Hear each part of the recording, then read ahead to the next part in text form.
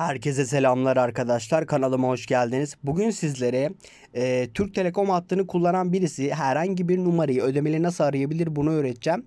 Bunun için yapmamız gereken ilk şey e, telefonumuzun arama kısmını açmak.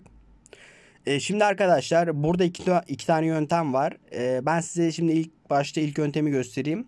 İlk yöntemimiz şu arkadaşlar. Yıldız 135 sonra yine yıldız sonra arkadaşlar hangi numarayı ödemeli aramak istiyorsanız o numarayı yazıyorsunuz. Ben tamamen örnek olması açısından rastgele bir numara yazacağım buraya. Yazayım numarayı 0532 085 69 85 numara yazdıktan sonra kare tuşuna basıyorsunuz. Ee, sonra arama kısmına bastığınız zaman karşı tarafa bir e, mesaj gönderiliyor. Bu kişi sizinle ödemeli görüşmek istiyor diye. Eğer karşı taraf bu isteği olumlu yanıtlarsa arama zaten gerçekleşiyor. Eğer olumlu yanıtlamazsa da e, bu istek gerçekleşmiyor maalesef. Şimdi geçelim ikinci yönteme arkadaşlar.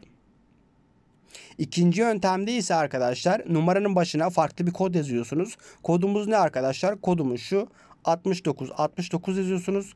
Sonra hangi numarayı ödemeli aramak istiyorsanız o numarayı yazıyorsunuz. Ben yine örnek olması açısından tamamen rastgele bir numara yazacağım.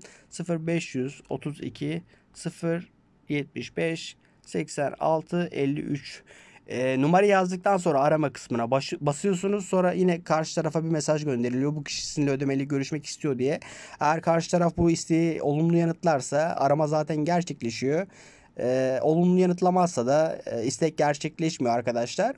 Bu yöntem, bu gösterdiğim iki yöntemde arkadaşlar e, sizin dakikanız falan gitmiyor. Karşı taraf tarafından karşılanıyor bu arama bedeli.